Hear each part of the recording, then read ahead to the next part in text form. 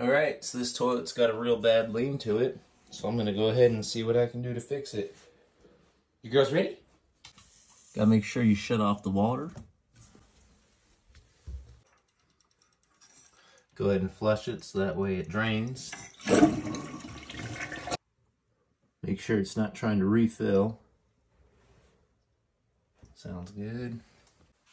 Make sure you take the filter off your shop vac. Nice. Use the shop vac to get rid of the rest of the water.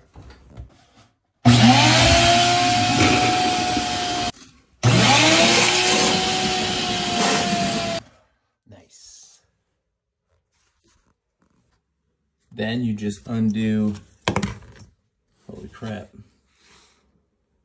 That's not a good sign. That might be part of the problem. Well, then you just undo your Johnny bolts. Okay. And then take the water line off. It's right there. Then you should be ready to take this toilet out. Alright, so normally I'd say go ahead and lift it up over the Johnny bolts, but they fell off. Get yourself a box so when you take this off, you have somewhere to sit it on because if not, the wax ring under there is pretty gross. First, you want to clear out some of this old insulation. It's not doing any good anyway. Alright, now you can see it a little bit better. So we're just going to cut it right around there, right there. And then we'll put a coupling on it so we can raise it out of the floor and put the new wood down. Now we just need to cut the pipe right there so we can lift it up out of the floor. All right.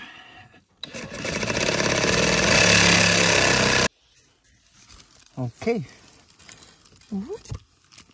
And now, whoa, that's crazy, man. So let's see what we're looking at under here. Exactly what I expected. Toilet hole. Now let's see if we can find out why it's messed up. From the looks of it, the wax ring dissolved and was letting water out, which was starting to pool up and damage the floor underneath it. So, we'll just fix that real quick. All right, so once you cut it, just take it right out. There you go. And once we fix the floor, we'll just take a coupling and put it right over it like that. Put the old one back on it. Good to go.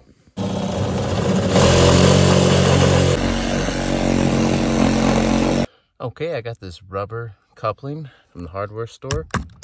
So that way I can put this all back together, but then since this is temporary, I can remove it later. Tighten her on up. This one.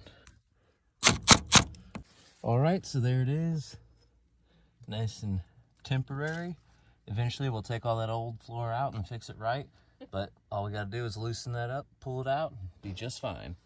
Because there was a leak, it leaked into all the insulation, made it heavy, and made it fall down. So I'm going to fix it with a new piece of insulation. Bam. All right. so I really don't need all of it. Shove it in there. Yeah. I don't need any. I don't need it in the house either. Yeah, exactly. We bought a bunch. It's almost like we knew a seven hundred dollar house that had just sat empty was gonna need some insulation. Yeah, you know, I'm surprised there was as much of it here as there actually was. I know. I kind of was too. I thought the critters and stuff Yeah, I thought there'd be none, basically. would take care of that.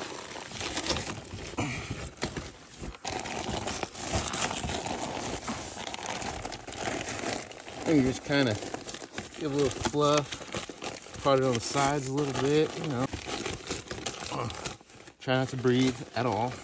That'll do her. Cool. Done. Dunsky. It's pretty nice down here, actually.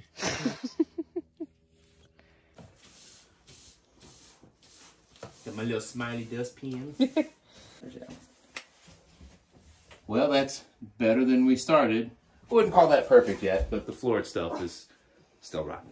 So that is called a band-aid. a big one too. It works. Uh, ooh.